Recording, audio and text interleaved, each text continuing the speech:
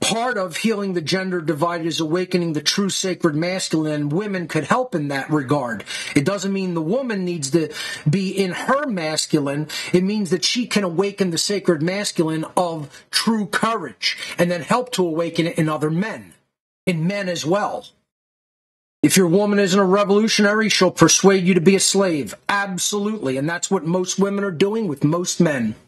That's why the world's in a state of slavery. Women don't have an awakened sacred masculine dynamic within them of self-defense. They think the government's going to save and protect them. They think the government keeps them safe from fucking danger. The government enslaves you, you jackass fucking mentally retarded, conditioned women out there.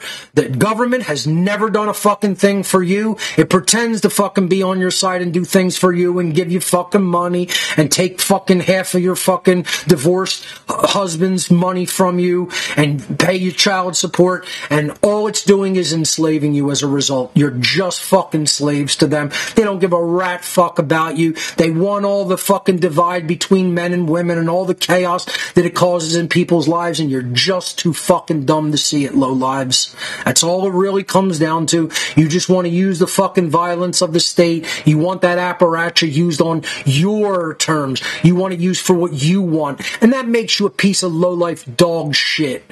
Scumbags. It doesn't make you fucking good people. It doesn't make you powerful.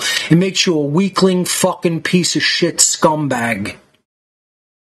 And that's all you're using is other scumbag loser thugs as the apparatus for violence. That's all it ever has been, and that makes you an immoral scumbag piece of fucking trash.